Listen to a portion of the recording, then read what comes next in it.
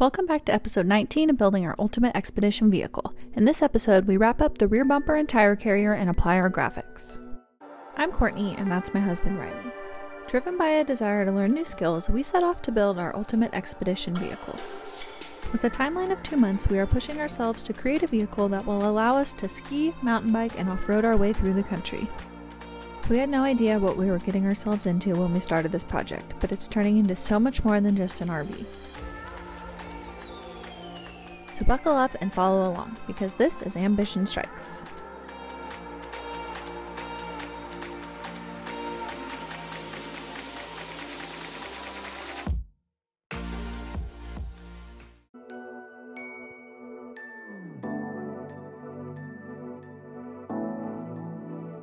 This is the hitch receiver for the bike rack, and I'm gonna weld this nut on the top so that we can tighten the bolt down and keep the rack from wobbling or rattling. So if you're just getting started in fabrication, I assume you already have a welder and a grinder. The very next tool I would recommend you purchase is a portable bandsaw.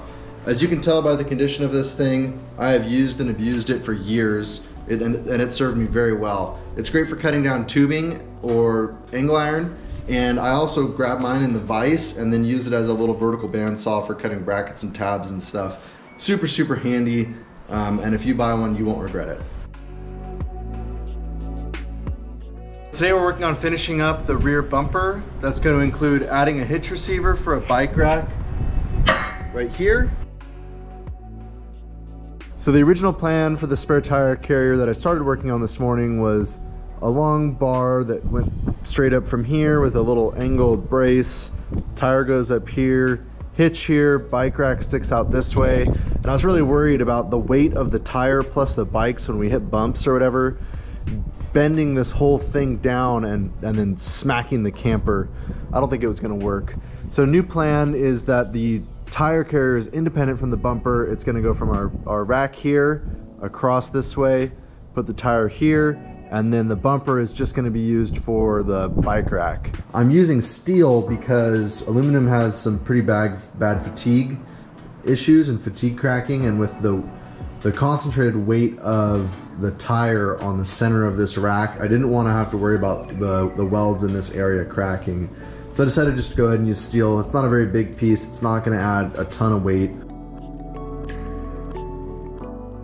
I'm going to drill a 7 8 hole through this angle and actually weld this nut on the backside and that's how the tire is going to attach to this.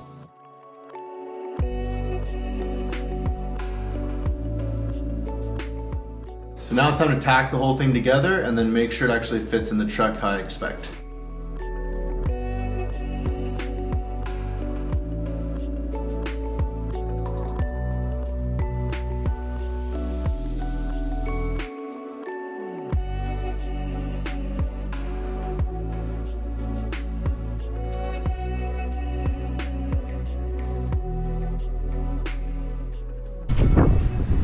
This special washer I made, see it's got these two diameters.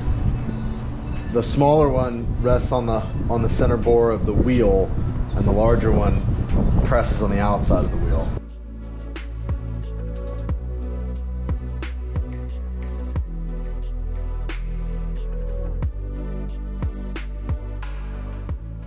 The key into drill, to drilling into steel is a lot of feed pressure.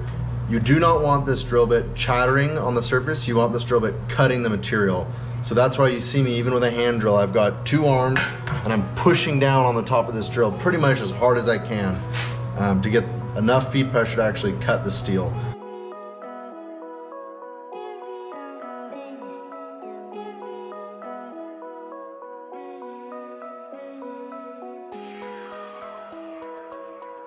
So the concern was that if somebody ran into the back of this ski gear box, it would actually cave in the back of the camper right here, and that would be extremely difficult to repair.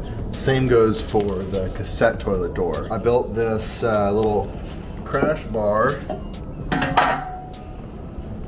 that goes right there, so that now if somebody rear ends us, they'll hit this and transfer that load into the bumper instead of into the into the camper. Um, and a similar one for the cassette toilet box door. We have been rear-ended on the freeway. it was awful and it was in a vehicle that we had poured thousands of hours of labor into. So we're gonna learn from that and we're gonna do our best to not smash in the back of our camper if we do get rear-ended. Today's a very exciting day. I'm gonna be doing the graphics on the truck, so I need to get it really clean first. And I was a little worried about washing the vinyl because I know that the truck is covered in aluminum and wood right now. So the internet recommended one of these foam cannons to kind of do a touchless wash before you scrub anything. So we're gonna give that a shot.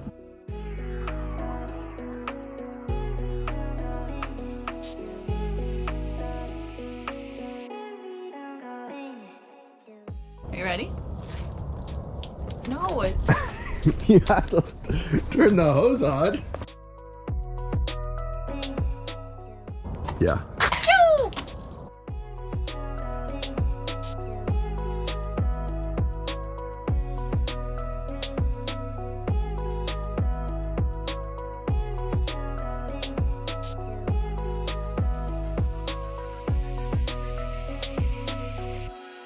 Last night, our graphics arrived.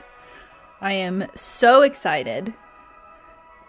I laid them out so that they could kind of relax, flatten out. I'm going to start with the little graphics, kind of get back on the horse, and then we will switch to the big graphics.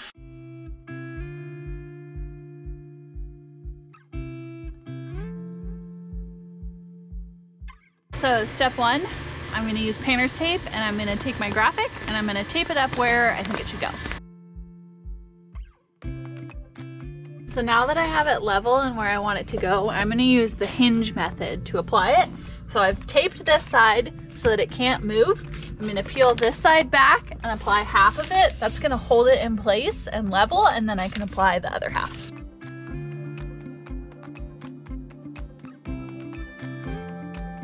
Now that I have about a third of the sticker applied, it can't move. So now I can just peel back this side and apply the other two thirds.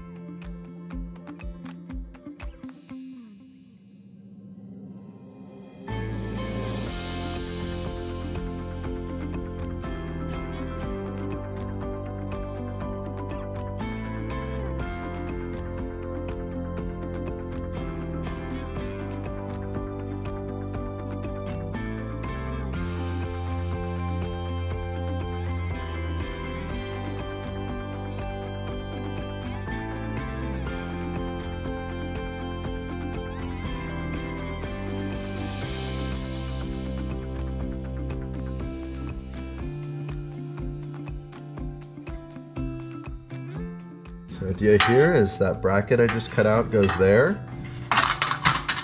And then this little LED license plate light will go right above it. So I need a bracket to hold the factory trailer wiring.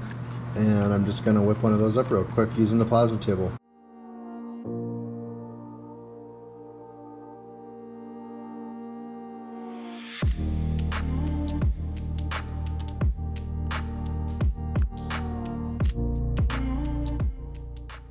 Well, let's see if it fits.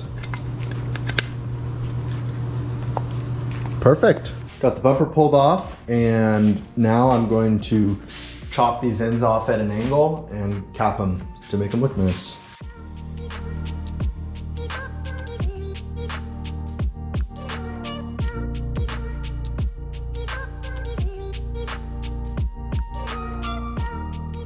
So I'm working on Frenching this hitch receiver into the bumper but uh, the blade snapped. I knew we were getting close to the end on this one, but time to change it up. I can't do this last cut with the porta band, so I'm using my angle grinder